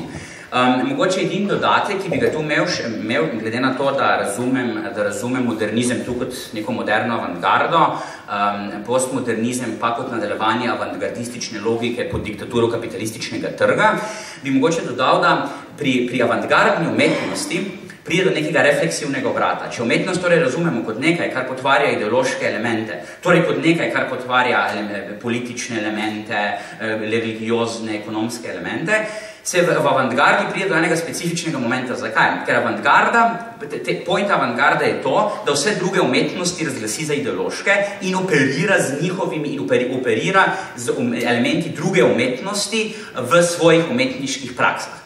To pomeni, da, če citiram Raska Močnika, umetnost kot estetika začne predelovati umetnost kot ideologijo. To je še, to je še en eh, mala notica pod črto, preden začnemo obdelovati to razliko med modernizmom in postmodernizmom. Zdaj, jaz sem si namenil sicer, da bomo več teh razlik obdelali, ampak sem se na koncu odločil, da se bomo ene lotili resno, resno in uh, obširno.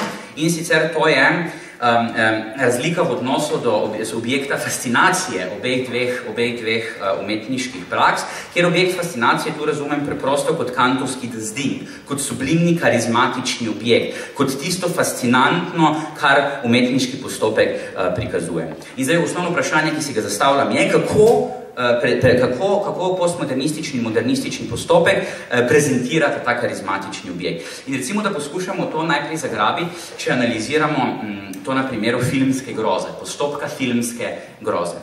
Uh, predvzeli bomo to, izhodišče naše analize bosta dve predpostavki. In sicer prva, da in obedli sta predpostavki, ki jo večina filmskih interpretov privzema za samomevni oziroma vsaj najbolj splošno sprijeti.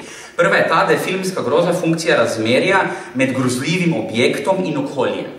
Se pravi, groza v filmu nastopi, eh, ko objekt delu, grozljivo deluje na okolju. Se pravi, groza ni grozni objekt, ampak funkcija razmerja med objektom in okoljem. In drug konsens, ki velja in gre korak dlje od tega, je ta, um, da ne gre zgolj za razmerje med okoljem in uh, objektom, ampak da gre za razmerje med pokazanim in nepokazanim, med tistim, kar je vidno in tistim, kar, je ne, in kar ni vključeno v vidno polje. Čež da, uh, ko je grozljiv objekt skrit, deluje še bolj grozljivo, ker se v njem sprožijo razne fantazmatske projekcije. Ne nazadnje to vidimo že v, pri Aisilovi Oresteji, uh, katerega, kjer je glavno pravilo je to, da mora biti grozljivi dogodek vedno, m, vedno prikazan izven prizorišča. Na prizorišču pa moramo videti samo počinke tega grozljivega dogodka. Ne? Moramo videti samo, kako se grozljivost dogodka odseva na žrtva. Se pravi, imamo grozljivi dogodek, grozljivi sublimni karizmatični objekt, ki, katerega efekt, učinek, estetski učinek vidimo samo tako, da analiziramo učinek tega mm, efekta na okolje, na žrtve, na ostale subjekte. Zdaj, zdi se, da obstaja med tako prakso in postmodernistično prakso in ključen prelom. Uh, če recimo analiziramo mm, kljub temu, da Hitchcock v tistem svojem um, znanem primeru tuš, uh, spravi krika pod tušem, uh, seveda, analizira, seveda prevzame točno, tako, točno takšen način predstavljanja groze, um, vendar le v enem drugim filmu zelo, um, zelo, zelo jasno prelomi s takim načinom predstavljanja groze. In sicer to je film Lifeboat, um, rešilni čovn. Kaj se tam zgodi? Zavezniki leta 1944, um, Eh, na čovno rešijo eh, nekega nemškega mornarja iz podmornice in potem vsi prestrašeni zgroženi ugotovijo, da so rešili življenje nemškemu mornarju. In zdaj klasični, klasična groza bi bila prikazana kako? Človeka, ki maha v vodi, eh, zavezniki ga dvignejo ven in potem kamera na obraz teh ljudi, ki kar naenkrat, brez da bi publika videla, da je tisto Nemec, zgroženi ugotovijo, koga so potegnili iz vode. Tu je situacija obratna. Pri Hitchcocku je situacija obratna, zgodi se, da eh, kamera konstantno kaže človeka, ki pleza na čovn, stopi na čovn, reče danke schön in potem se obraz mrči njemu, ker vidi odziv kolice na njega. Ne? Skratka, imate totalni obrat, konstantno prikazovanje sublimnega objekta, konstantno prikazovanje objekta groze. Temu eh, Pascal Bonicer reče zelo zanimivo Hitchcockovo uh, prostovstvo. Zakaj? In, um, Odgovor je zelo enostaven. Če greste brat, če greste brat, um, če greste brat, eh, če, če pogledate, kaj se zgodi, ena ključnih točk v, v neki svanovi ljubezni. Ne? Ta modeta eh, svano razlaga o svojem lezbištvu. Ne? In, in to je seveda za svana totalno traumatično, ampak, dej, ampak eh, kako zelo je to za njega traumatično, izvemo samo iz tega, kako se ta traumatično zrcali na odetinem obrazu. Skratka, ona razlaga, razlaga, razlaga, konstantno spremljamo njo, konstantno razmišljamo o njej, Uh, in potem zaradi njene reakcije vidimo, da je bilo to traumatično za Svana. Se pravi, spet vidimo objekt groze in eh, pride torej do ob, obratnega postopka. Ne? Vidimo najprej objekt, potem reakcijo okolja na objekt in potem spoznanje, to je grozen objekt. Skratka, reakcije, vidimo reakcije, kot se zrcalijo na samem objektu, ne pa subjektu. Ne, tu, tu se zgodi ta prelom. Prej smo videli žrtev in, in nam je grozljivost izhala iz tega, kako se je grozljivi eh, dogodek zrcalil na žrtvi, zdaj pa imamo obratno prikazan grozljivi objekt. Zdaj seveda filmski interpreti tu pravijo, da je grozljivost udvojena, zato ker najprej vidite normalnega Nemca, na katerem ni nič čudnega, pol pa kar naenkrat ta Nemec postane utelešeno zlo, ko vidite reakcijo drugih, ne, skratka, um, zlo je, grozljivost je dvojno, ampak to zdaj ni ključno. Ključno je za nas to, da prije do nekega premika k temu, da se prikazuje objekt.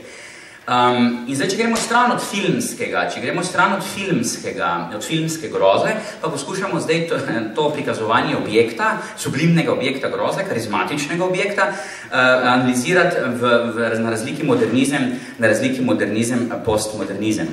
Um, zelo očitno hitro postane, um, oziroma, če se, če se recimo vprašamo zdaj, ali pokazati ta karizmatični objekt ali ne, ali pokazati objekt groze ali ne, je v bistvu to identično vprašanju, ali pustimo mesto prazno, ali mesto groze prazno, ali ga zapomnimo z neko, z neko vsakdanjo realnostjo, neko deskriptivno realnostjo, z Nemcem, ali pa z morilcem, ali pa uh, z nečim takim. In um, moja teza je, da je, da ključna razlika med modernizmom in postmodernizmom je to, da modernizem to mesto vedno pusti prazno, postmodernizem pa to mesto vedno napolni z nekim subjektom. Na primer, čakajoč, čakajoč Godoja, če to analiziramo na tem primeru. Čakajoč Godoja je klasična modernistična drama. Zakaj? Ker vsi vemo, da, Godo, da, da Godo strukturno manjka, da nikoli ne bo prišel, da je to neka, da je to neka mm, mm, uh, alegorija niča, da, da, da, da ga nikoli ne bo tja. Postmodernistični obrat te drame bi bil, da bi bil Godo navaden bebec, lenuh, ki se mu ne bi dalo priti tja, kamor ga vsi čakajo. Skratka, bi obstajal, a se mu ne bi dalo priti, na, na, čeprav, čeprav bi, bi, bi bil postavljen na mesto sublimnega objekta. Še bolj do izrazite, in zdaj prihajamo do tega, zakaj je to subverzivno, še do bolj izrazite razlike pride, če pogledamo, kako se, kako se, kako bi prikazali recimo neko klasično heglovsko, absolutno pa konstitutivno, konstitutivno monarhijo. Modernistični prikaz monarhije bi bil, um, prikaz, kjer kralja sploh ne bi bilo. Ne? Skratka, kralj kot sama neka čista forma, kot čisto ime, kot ničti označevalec, ki požene celotno strukturo v gibanje, bi v modernističnem prikazu monarhije enostavno manjkal. Vsi ljudje bi se obnašali, kot da kralj obstaja in deluje, njega pa ne bi bilo in struktura bi tekla. To je modernistični prikaz. Mimo grede, to popolnoma ustreza freudovskemu pojmu fetiša. Ker pri Freudu je fetiš tisto, kar prekriva izvorno kastracijo. Pri Freudu je, eh, je fetiš tisto, kar prekriva manjko, okoli katerega steče struktura. Zelo zanimiva anekdota, ki jo lahko najdete v Tokiditu, je mm, anekdota Likurbu, špansk, eh, špartanskemu zakonodajalcu. Šparta, ne zna, ki, je, ki je kljub temu, da je, da je imela institucionaliziran družbeni antagonizem med Heloti in Špartanci in tak dalje, velja za družbo, ki je funkcionirala ki, ki je imela urejen sistem, ne, ki, ki kot da je nič ni manjkalo. In, in zakaj? Ne? Odgovor je v Tukididon. Šparta na neki točki se odloči, da bi rada napisala, da bi rada napisala novo ustavo. Osta, dobijo osta, zakonodajalce od zunaj, Likurga. Napiše jim vse, skoraj vse člene ustave razen enega, reče, dečki, dejte se zdaj, jaz grem zdaj v Delfi vprašati, kaj ne bo ta zadnji člen, vi se pa obnašajte, kot da je to že cela ustava. Prvo gre v Delfi, pa ga nikoli ni nazaj. Oni se pa vedno obnašajo, kot da je to že cela ustava. Imate čisti freudovski termin fetiša. Celotna struktura teče kot namazan stroj okoli fetišističnega zanikanja, manjkanja ključnega elementa. In to je, to je modernistični prikaz monarhije. Zdaj imate postmodernistični prikaz monarhije, kjer bi se prikazal monarh, ne, kjer bi se prikazal kralj, kralj bi obstajal, samo bil bebec, kralj bi obstajal, samo bil gol, ne, kralj bi obstajal, samo bil idiot, ki ne zna nič delati, pa se samo podpiše na dokument, da ta dokument dobi neko veljavo. To pa ustreza marksističnemu ali pa marksovskemu pojmu fetiša ali pa bolj, bolj specifično fetišizma. Zakaj? Ker pri, Marko, pri Marksu je fetiš nekaj, Pri Marksu je, pri, pri Marksu je fetiš, pri, pri Marksu je pri fetišizmu zato, da nekaj, kar je neposreden produkt strukture, se kaže kot naravna lastnost stvari sam. Se pravi, če se kralj, zato da ostane kralj, eh, prikazuje, kot da je na njem nekaj res kraljevskega, v resnici je kralj samo zato, ker se vsi do njega obnašajo, kot je kralj. Se pravi, pri Marksu imate obratno, ne da bi fetiš zakrival neko strukturo, ki manjka, ampak manjkajoči delček strukture, pri, fetišu, eh, pri, pri Marksu fetiš zakriva to, da je nekaj posledica strukture, pozitivno vsebino za sabo zakriva. In Lakan je to zelo pronicljivo in zelo dobro pripomnil, edini bolj nor od berača, ki misli, da je kralj, je kralj, ki misli, da je kralj.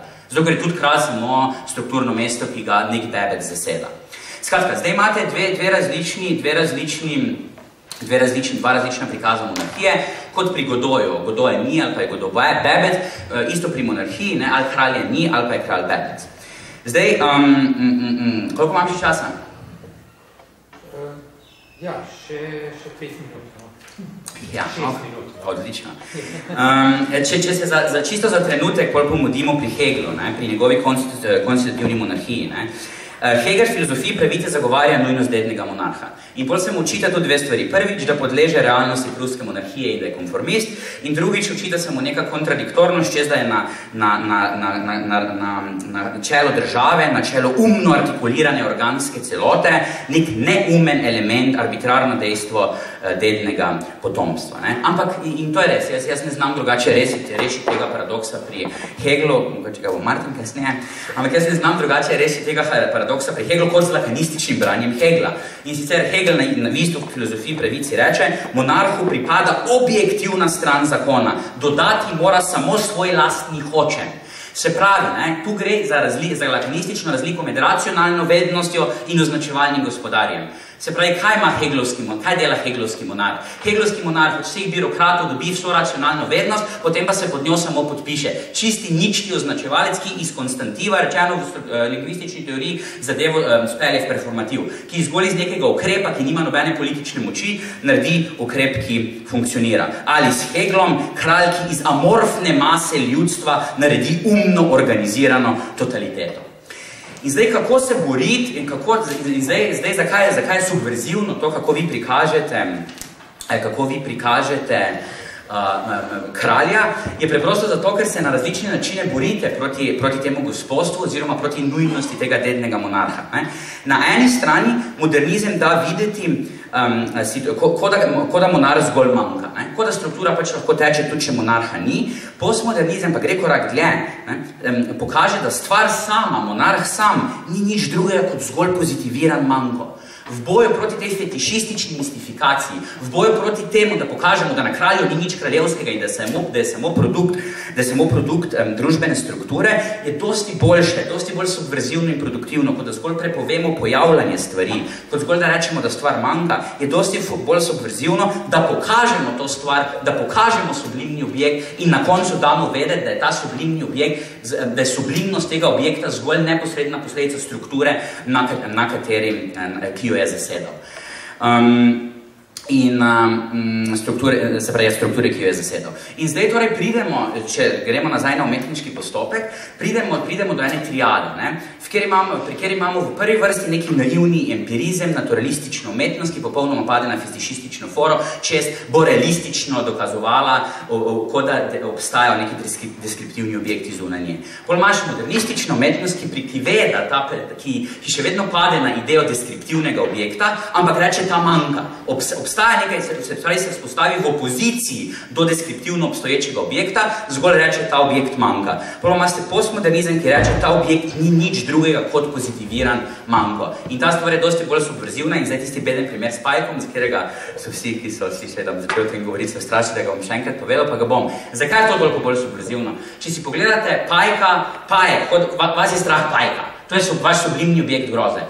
Prva stopnja strahu je, da vas je strah deskripcije pajka. Pajk je grozen, ker je takšen, kot je.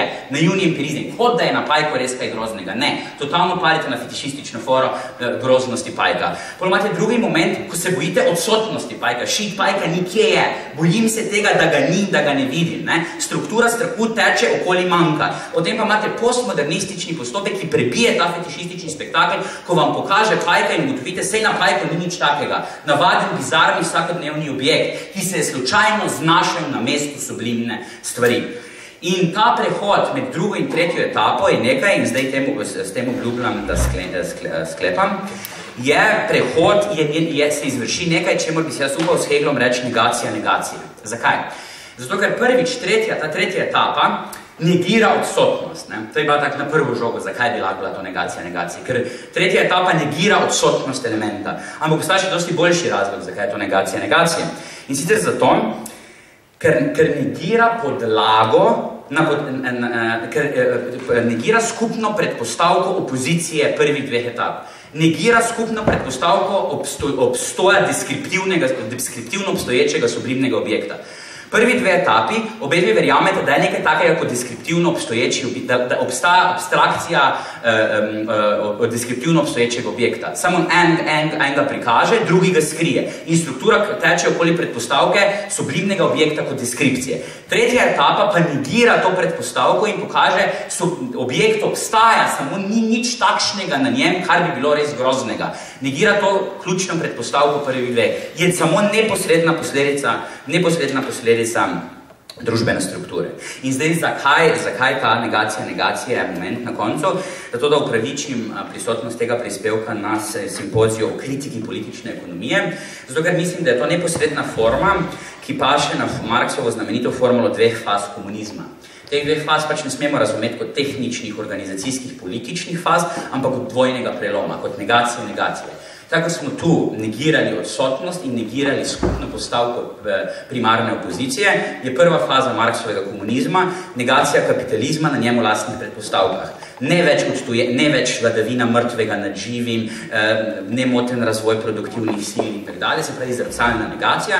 No, druga točka Marksov, po moji interpretaciji, druga faza komunizma po Marksu, pa je negacija skupne predpostavke zgornji opoziciji. Ne zgolj negacija otojene produkcije, ampak subverzija ali pa subvertura eh, dominantne vloge produkcije kot take. Ali Kaj, kaj, kaj, kaj ta tretja faza postmodernistična reče? Ta tretja faza postmodernistična pripozna vlogo označevalca, vlogo označevalnega procesa v realnosti.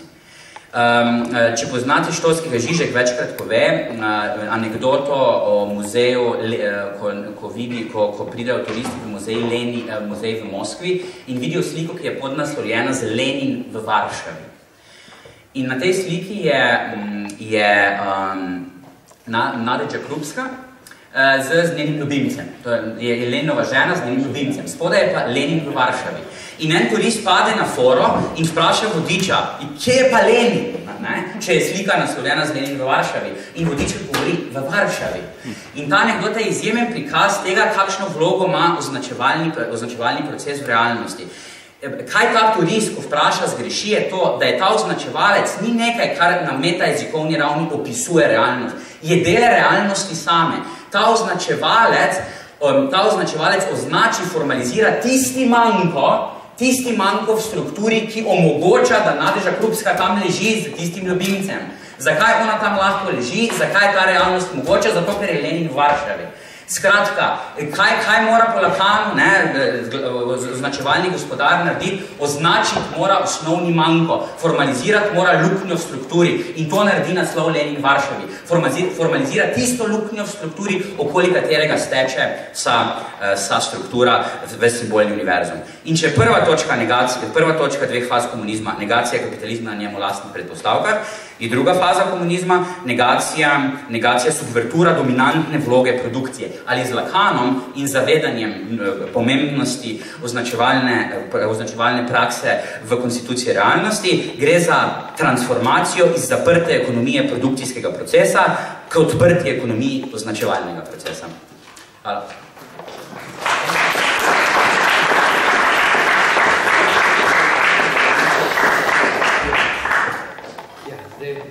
Vzeti še pet minut, ne, da bo se še kaj razjasnilo. Proši, prosim. Ja. Jaz bi se malo na kreditno navezu, ne, da pač je točno obodje, ki pač črpamo spoznanje, ki seže nad fetišizmom, ne, zdaj mi pa zanima, kje je ta odbor, ne, tega pa malo manjka, malo mi manjka tega odbora, oziroma tega situacije. Se pravi, vprašanje je? Malo ma, uh, vprašanje je, pač kje je odpor, ne, pač spoznanje, ki seže nad fetišizacijo, ja, ne, v redu, pač ta postmoderni koncept, pač igre odločevalca, ne, Se pravi, v bistvu vprašanje, kaj storiti? Ne, v bistvu vprašanje, jaz se, jaz se ne bi strinil s tem, ne, da postmoderna igra označevanja, da, da, se, da se potem ne boš bal več bajka, ko bo še enkrat ugotovil, da zaseda samo strukturno mesto. E, se, sem se absolutno ne strinjam. No? E, jaz, se strinjam, jaz se strinjam s tem. Še vedno sem bal bajka. Ne? Zdaj, čisto kaj, figura, mislim, kako deluje šaman, ne? mislim, če pogledaš na funkcijo uh, fetišizma, kako lahko pa šaman deluje, ne? A veš, mislim, to je ja, ja, ja, šaman, ja, ja. ravno zato, ker se pač tega zavira, ampak on se še vedno lahko boji bajka. Ne? Če ja, ja. preigra to strukturo. Ne? Se strinjam, se strinjam. Pač ta analiza je bila, zaradi časovne omejenosti, je popolnoma privzemala raven ideologije kot raven verjetja. Jaz se strinjam, da mora, da je mora teorija ideologije danes napast tudi raven ideologije kot prakse, v smislu, um, v smislu, točno vem, kaj delam, pa še vedno to počnem. V smislu Nilborovega, Nilborovega odgovora, zakaj za vraga ima znanstvenik uh, potke v konsko tam. Ne? Zato, ker je slišal, da tudi, če ne verjame, še vedno deluje.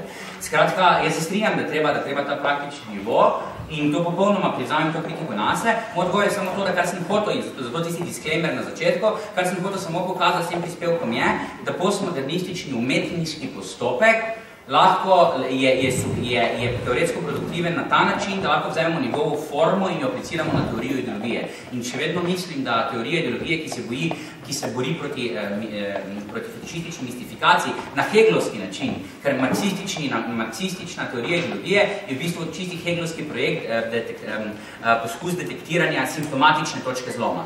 Ne, vi imate Hegla, vi imate Hegla, ki reče, vsaka univerzalnost je mogoča samo, če ima neko izjemo, če univerzal, univerzalizacija nečesa se dovrši, ko znotraj tega univerzuma vznikne nek element, ki subvertira rod, znotraj katerega je vzniknil in Marx popolnoma privzame ta moment ne reče meščanske, univerzalizacija meščanskih svoboščin se zgodi kdaj?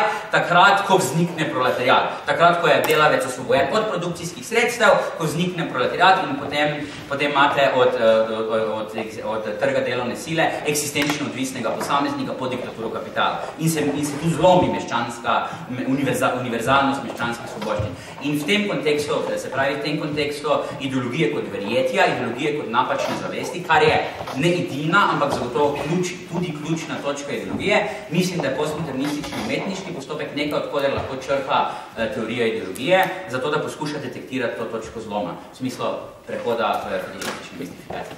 Ja, uh, mislim, ja.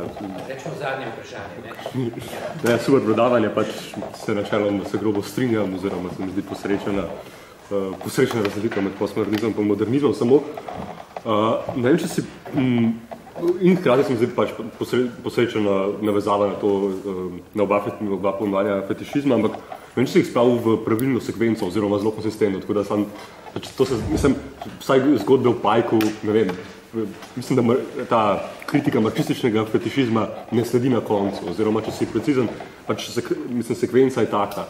Najprej pač imaš kritiko, mislim, marksistično kritiko fetišizma, ki kritizira pozitivacijo uh, mislim, razkrinka, da je v objektu samo uh, um, utelešena struktura, potem iz tega neposredno izhaja modernistična teorija države. Se strinjam, se strinjam, uh, mislim, da potem, je potem pač sledi okay, freudovska kritika fetišizma, ki okay, struktura ima manko in zahteva objekt, da zakrije ta manko in potem sledite postmodernistična teorija države, ki je Heglova postmodernistična teorija eh, države. Ne, ne, se čist strinjam, samo mislim, da pač, eh, to je moja napaka, enkrat sem, eh, od, dveh, um, dveh straneh istega okay. kvanca. Ko sem, ko sem razvijal zaporedje teorije fetišizma, uh mhm. -huh. smo šli z tega, kako nastaja fetiš. Okay. Se pravi, je fetiš manko ali fetiš pozitivacija. Uh -huh. Ko smo pa razvijali triado, smo se pa s kontra strani borili. Okay. Skratka, no, ampak vseeno vse pa to konsekvence, zakaj je potem postmodernistični pristop, postopek prikazovanja nesublimnosti objekta lahko subverziven, če pa to je, to je Hegelova teorija države, ne sublimnost eh, monarha. Je, zaradi, ne vem, če čisto... Ja, mislim, pač Hegel pač potem, ko Marx, mislim, Marxovska kritika, mislim, eh, pač, okay, recimo, moderna pozicija razkrinka sublimnost monarha, potem Hegel... Obrat, ne, ravno obratno, mislim, ja, mislim, da, ja, ja, ja, razkrinka na način, da spoji, če, če ima Hegel, če ima Hegel ključno zarezo, razloček med monarhom, ki je formalni, ni vezan na svoje lastnosti mm -hmm. in racionalno vednost uh, birokrate, za kjer je nujno, da imajo pozitivne lastnosti, po kateri se odločamo, kdo to bodo, kaj se zgodi razvetljenstvom, zgodi se spoj. Zdi ja. se, da je monarh, ti, da je oblast tista, ki je določena z, z mm, Z, ja, ampak to je, ta, to je ta pozicija, če se rekel modernistična teorija države, kjer je mesto, mesto prazno, ne rabimo mi pač uh, utelešenja strukture, ker pač lahko uh, drugimo brez tega. Jaz ne, nisem ne, ne temu reči modernistična teorija Aha. države, ampak modernistični prikaz specifične države. Ne, ker ta, pozit, da rabaš pozitivacijo, se mi zdi, da to je neka kritika, ki bi jo Hegel imel proti pač razsvetljenstvu, okay, ker misliš, okay. da imaš okay, razumem, na ta način. Uh, Zato mislim, da to pač ta razsvetljenska okay, teorija je, okay. če se reče modernistična teorija države.